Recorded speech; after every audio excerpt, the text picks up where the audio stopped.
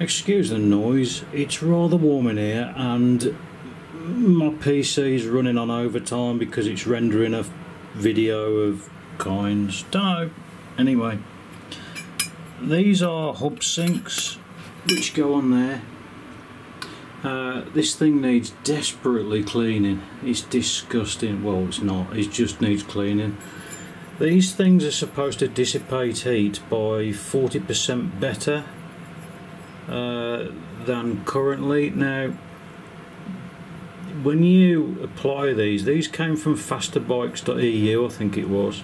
Uh, link in the description down there. These are um, you have to apply thermal grease, which they apply, they, they supply with it. Nuts and bolts, which they supply with it. Spanners, which they don't supply with it. These can only go on one at a time. I can't attach two so it's going to be a bit of a challenge to get them in without knackering the coating on the or the paint on the on the spokes which you can see has already started coming off. Because it was only a light coat. I'm going to get another set of spokes but they're going to be black and proper. So I'm going to put them on because this hub it doesn't get ridiculously hot. Well no it does. It's it's not bad bad but it gets hot. Plus which eh, I'm doing designing version 3 and it's going to be generating a lot more heat so I really do need to do something with the cooling. So I'm going to put them on. Them on there. That's them done believe it or not it's just taken me four hours to do that purely because me being a dickhead, I didn't even think that when you put the heatsink paste on and it starts going everywhere and then you try and clean it off, that the paint might come off the spokes. so I've had to clean all the paint off the spokes. oh dear. So now I've got white spokes or chrome spokes which I don't know about. I don't know. It's quite. I think it looks quite good. I'm not sure. The next ones that I get, um, I'm going to get some more made, which I'm going to be putting on uh, when I do version three, which they're either going to be anodized or, or, or chrome. I don't know which yet. I quite like it actually. I do like it. Anyway, yeah, as you can see the hub sinks are on. Now I advise if you're going to get these things make sure the wheels off, make sure your spokes are all out, make sure that everything's nice and clear so as you can just put the bloody things on because they are an absolute nightmare. They're not so, so much of a nightmare to actually get on, but the heat sink paste because it will come out inevitably inevitably it'll come out somewhere and you have to clean it off afterwards. Now, when I clean my bike, I clean it with WD 40 and that's it, believe it or not. Um, I just get WD 40, wipe it down, and then wipe it all off again. So it comes up perfectly. But that's on, so I'm going to do some tests. Don't know when, when I go out next, I think. Well, when else are you going to do it, Tony, you dickhead? If you buy one of the 24S uh, BMSs, it does that between 8 and 24 cells. If you buy one of those, this is the app that you'll probably see that you get with it when you email them and say, I can't use it. Uh, this is probably the one they're going to send you because all the Chinese manufacturers are going to, uh, they've all got the same, uh, the same BMS app now. And this is the one I did. How they've got it, I don't know. But anyway, if you go on to settings, now this is obviously the battery at standing. There's no, uh, it's not charging, it's not running as such, it's just standing and connected to it. So you've got all these connections here, all these um, settings. You've also got a charge screen which gives you all the cell voltages and the pack voltage and everything else and the current you're using, the watts you're using. So this is version 2.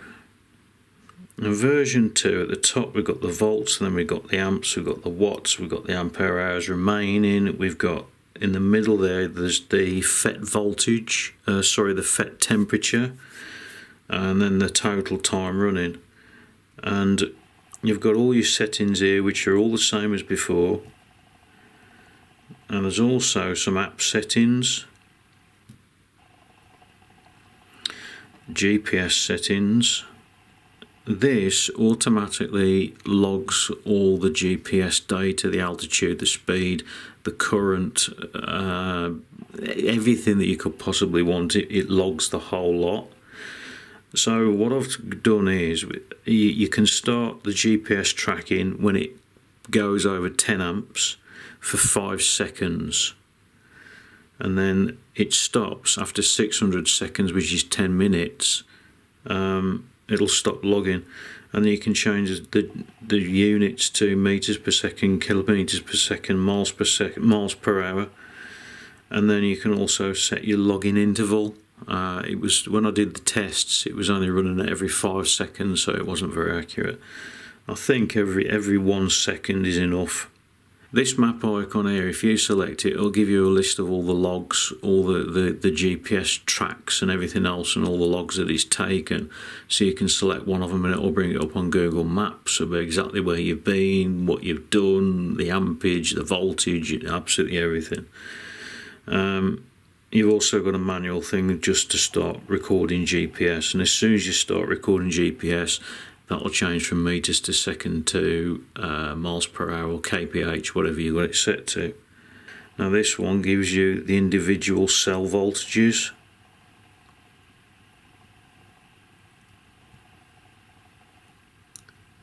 Now one thing it does when you're charging it automatically detects that you're charging and when the battery's full it bleeps at you. It goes beep beep beep which is very very good. I, I think it's it's a fantastic solution. And what it does is it takes the reading from um, the charge over voltage alarm per cell. So if I set that to 4.2 volts. So when the alarm goes off in the BMS, the alarm will also go off in this, um, in the phone. So if you're charging it in another room with a smoke detector sitting on top of it or whatever, then you, the, your phone will actually bleep at you to say that the battery's fully charged. So that's it. Um, I'll put a link in the description for it, but obviously, like I say, you do need the uh, it's called an ANT BMS. Uh, it's an 8 to 24 cell. They also do a 32 cell, uh, which it will work on there as well. Ultimately, this is going to replace the cycle analyst, and it's around about 80% done. Uh, trip counters and stuff like that, and total mileage and everything else has still got to be added. If you buy VBMS version 1, uh, which is that other one that I showed you, this one will be as a free upgrade. So what I'm going to do now is I'm going to show you uh, a video that I did, uh, when was it now, last week?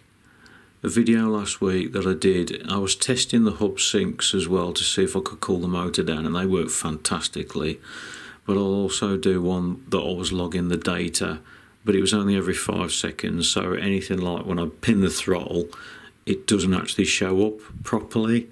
It's only when I go full throttle sustain for five seconds that it'll actually catch up. So here's the video. If you want the app, link below. Yes, it is expensive.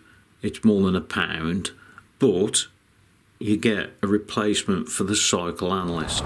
Good morning ladies and gentlemen. Uh, it's about 10 o'clock in the morning uh, because it's going to be really hot today and I decided to come out on the bike again because it's just too nice.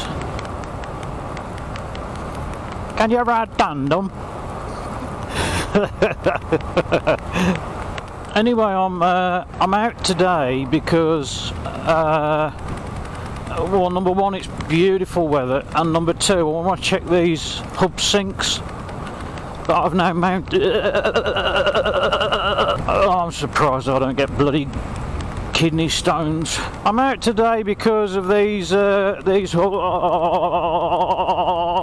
too cold, not too hot. Although it's going to get about 28 28 degrees this afternoon. Yeah. It's not going to be for me, unfortunately, because I burn so easily. I reckon if you chuck a match at me, I'd set on fire. I'm testing the uh, the hub sinks to see if it makes any difference to the temperature. And I'm hoping as you can see in the GoPro actually I'm hoping that it's going to make a big difference because it wasn't getting too hot but I want to prepare for version 3 uh, version 3 is going to have more power. So the the aim of I've got a fly. I've actually got a fly in my sunglasses, and they've got this bloody seal around it. How have I got a fly in there? Although the motor doesn't get unbelievably hot, um, yeah, it does get warm. It gets to the point that you can't bloody touch it. So I've put these hub sinks on in the hopes to reduce temperature and I've only partially charged the battery today so I can't go too far but I've decided I'm going to go to the canal because the canal's a nice place to just sit there and ponder and contemplate. I'll pull over to the side of the road so you can go past but I'm not pulling over. I bloody well refuse. Oh shit, that was a bad idea. The match ain't till this afternoon. Oh shit. Oh god, that would have been bloody fatal if I'd have hit that one. I would have gone straight over the bars then. Sod this.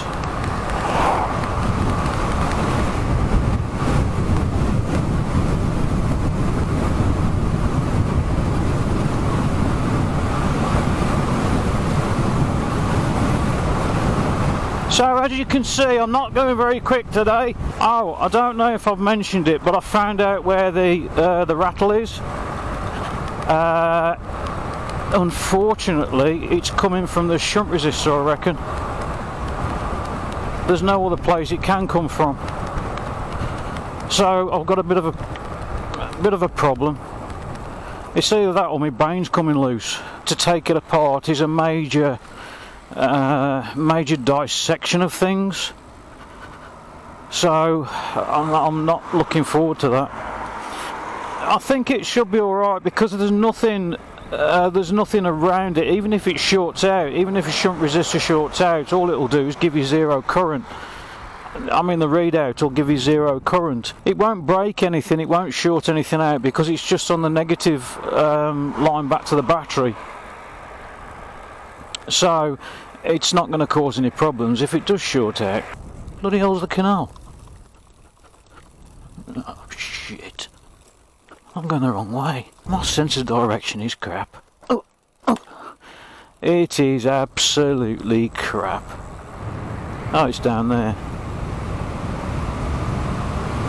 Oh, the acceleration never gets old. Never, never, never, never. See, in the UK, you usually see all the grass is usually green. And there ain't a lot of green grass at the minute. There's not as many places as I thought around there. So. Oh, bloody hell. Oh, this is the place.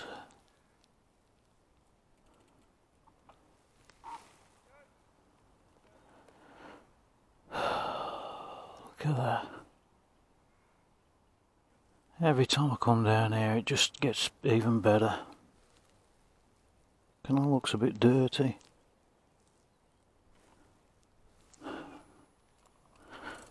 Anyway, I'm going to go down here. Because I can. Oh, This doesn't look steep on camera, but it really is.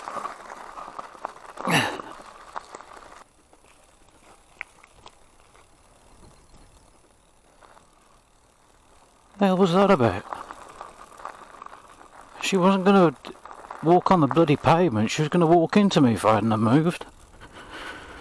Miserable cow. One day, one day soon, I might start telling my uh, life story. Well, not my life story, just a story. Because it's quite, quite eventful. It is quite eventful.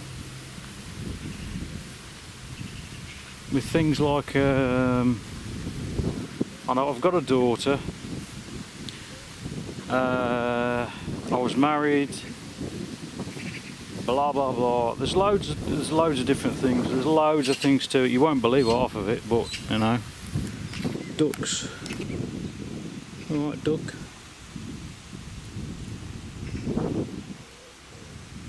Oh yeah, one thing.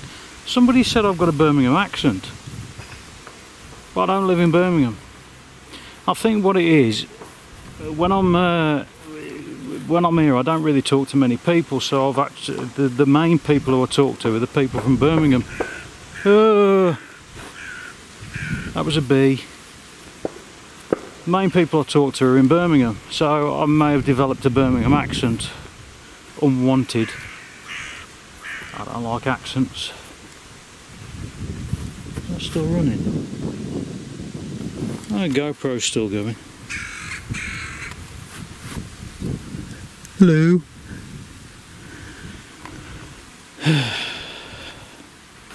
this is going to be a free upgrade to version 2 so as you can get rid of the cycle analyst completely because it'll give you all your trip distance, it'll give you all your, your odometer, it'll give you GPS speed, it'll give you absolutely everything. So it is worth an investment and I'll tell you something, if I was going to buy an e-bike, I'd definitely pay for it. The one downside is you do need the BMS that I've listed in the uh, previous videos.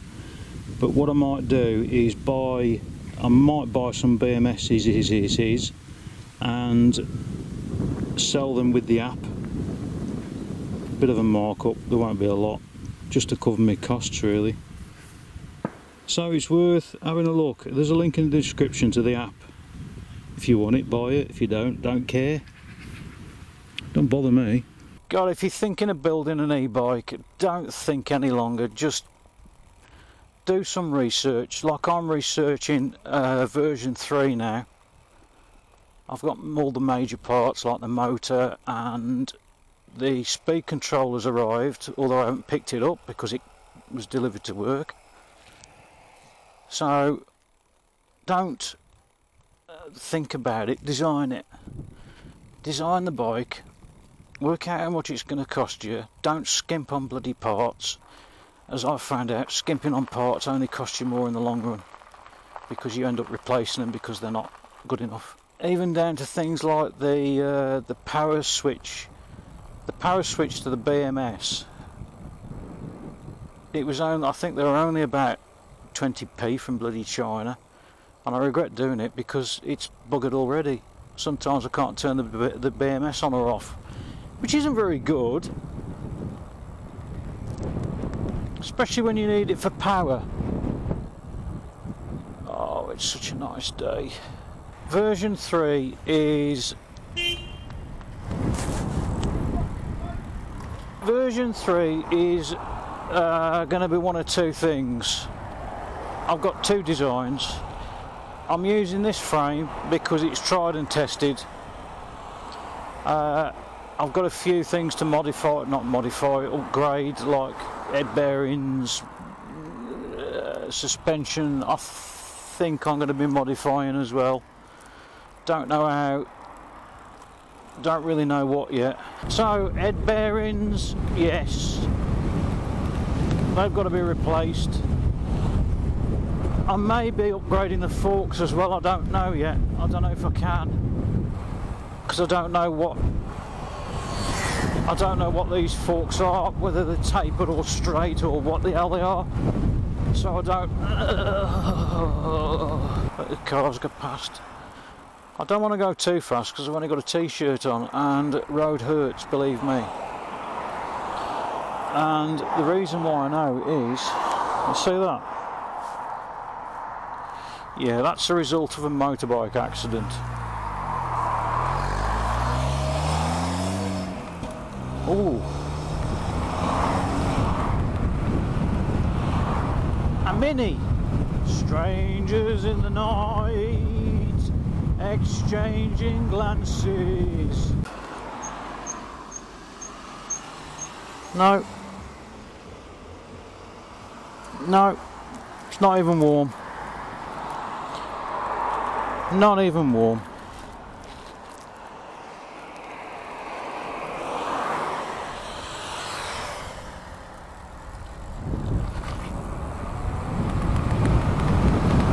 See by now that would be near enough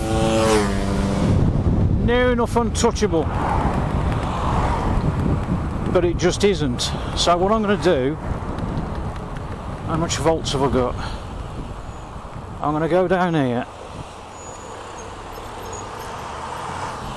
I'm going to go down here somewhere bloody cars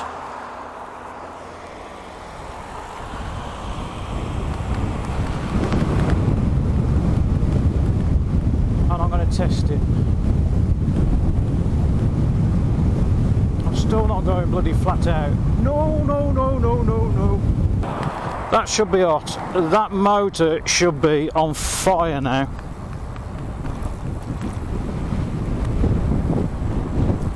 It should be ready to bloody pop. If I was doing that speed for that distance without these hub sinks on, it should be